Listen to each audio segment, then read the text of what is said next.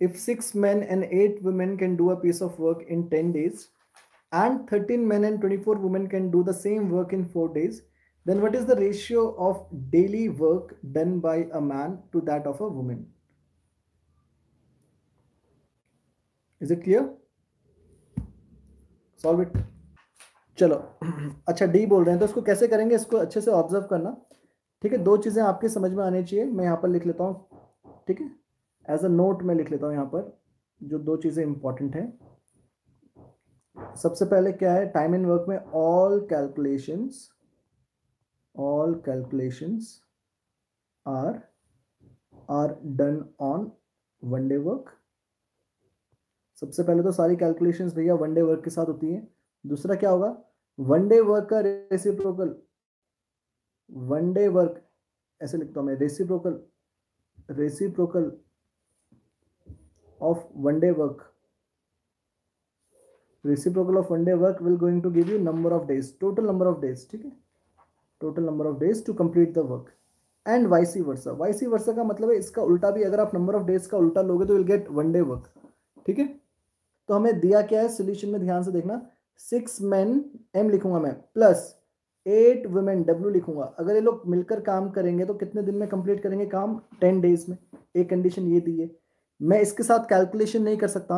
I cannot do calculation मैंने पहला point क्या लिखा? All calculation are done on one day work तो ये इनके टोटल नंबर ऑफ़ डेज़ हैं। टोटल नंबर ऑफ़ डेज़ के साथ मैं कैलकुलेशन नहीं कर सकता। किसी भी काम को ये लोग दस दिन में पूरा करेंगे जब छह आदमी और आठ औरतें मिलकर काम करेंगी। उसके अलावा दूसरी कंडीशन ये दी है कि तेरह आदमी प्लस चौबीस औरतें अगर मिलकर काम करेंगी तो ये ये लेंगी चार दिन। ठीक है? तो ये दो कंडीशंस दिए हैं, फिर आपको मैन और वुमेन का रेशियो निकालना है।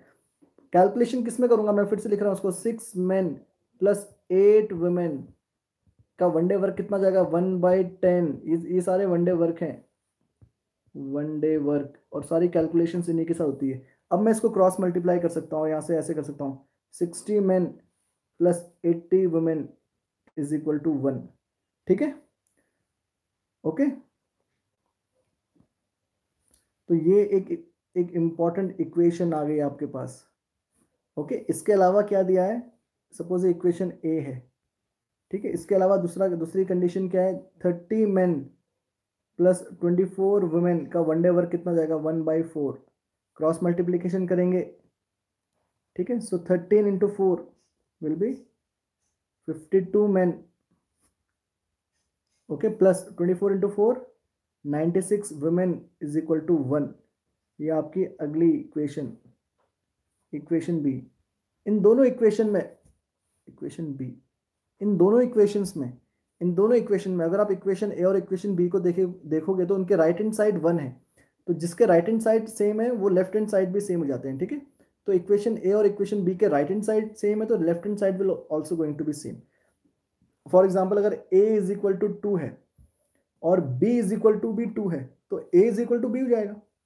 समझ में आ रहा है? उसी तरीके से अगर 60 m plus eighty W sixty man plus eighty women is equal to one है, उसके साथ साथ 52 man plus 96 women is equal to one है तो दोनों के लेफ़्ट हैंड साइड को इक्वेट कर सकते हो। Therefore from a and b क्या जाएगा? 60 man plus 80 women is equal to 52 man plus 96 women ठीक है?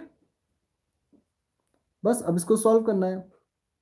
बस अब तो ये सब आ चुका है। मैन और वुमेन में इक्वेशन आ चुकी है। अब आपको सिर्फ़ इसको सॉल्व ही करना है। सो मैन मैन को एक तरफ़ ले लो तो so sixty man minus fifty two man is equal to ninety six women minus eighty women ठीक है?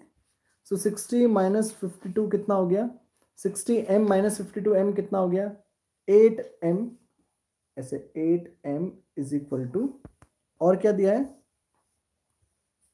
इसके अलावा क्या दिया है? इसके अलावा दिया है ninety six women minus eighty ninety six minus eighty ninety six ninety six minus eighty ठीक है, ये वुमेन दिया है। तो eight man is equal to sixteen women ठीक है? तो आपको किसका रेशियो निकालना है? आपको मैन टू द वुमेन का रेशियो निकालना है।